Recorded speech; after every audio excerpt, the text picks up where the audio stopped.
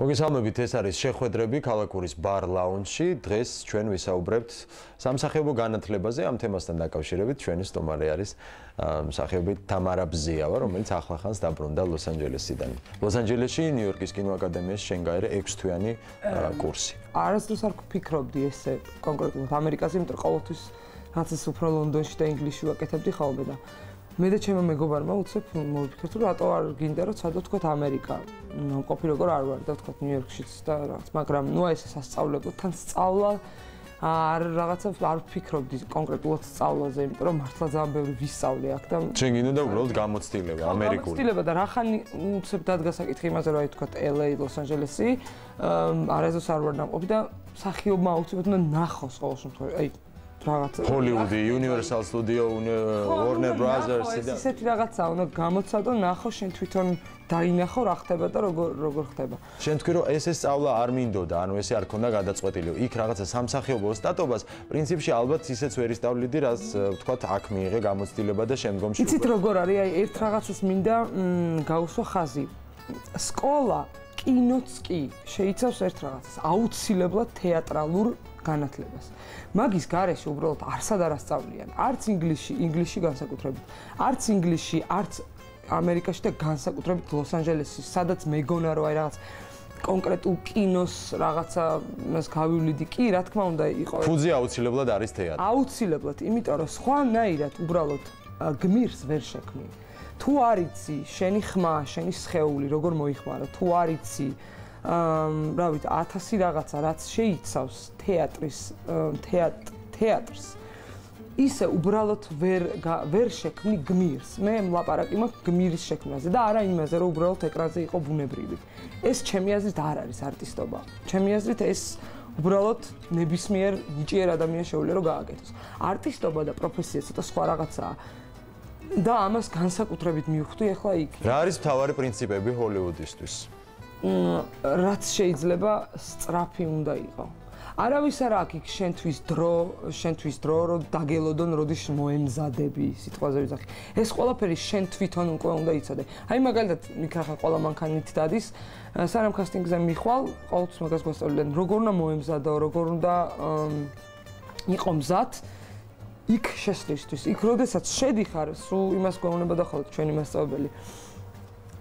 ერთადერთი რაც არის მნიშვნელოვანი, აი რომ დადგები კამერის წინ იქ რაღაც, არ ვიცი როგორ არის ქართულად, ამ რაღაცას რომ მოგცემენ. მონიშნულ ადგილს. მონიშნულ ადგილს, აი იმ ორ წუთში რას გააკეთებ, იმიტომ რომ თქვენნაირი არის 10000-ნაირი, სულ მაგას გქონდა. რომელსაც უნდა ჰოლივუდის ვარსკვლავი გახდეს, ძალიან ბევრი. ამიტომ, ამიტომ უნდა იყოს ყველაზე მეტი ჩვენ რაც ყოველთვის მოგწონდა, იმიტომ რომ ის თვითონ იყო აგენტი თავის დროზე და მე რენ უბრალოდ გადაწყვიტა რომ გახდეს პედაგოგი.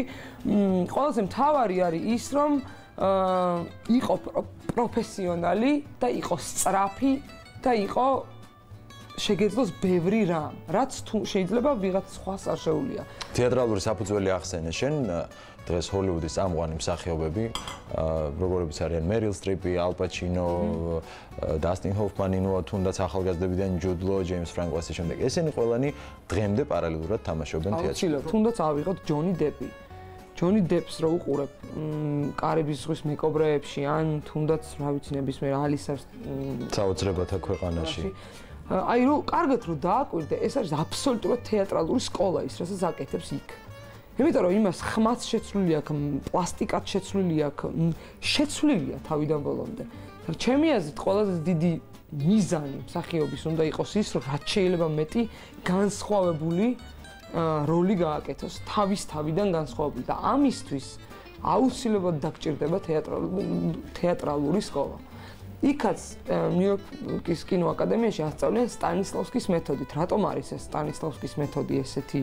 დღემდე რჩება სტანისლავსკის მეთოდი, დღემდე რჩება ჩეხოვის მიხედვით. რა თქმა უნდა, დღემდე იყო ჩემი გაკვეთილებიც იყო ესეთი, იყო მონოლოგები, რაც იგივეს. თუნდაც აუდიშენზე რომ მიდიხარ, ამზადებ მონოლოგს. და მე როგორც აქ მქონდა გავლილი სიტყვაზე ვიძახი სამსახიობო სკოლა რომ მე მუშაობდი ჩემ მონოლოგზე მე ისე ზუსტად ისევე დგები კამერის წინ და ამბობ ამ მონოლოგს. პირველი ნაბიჯები კინოში ესე.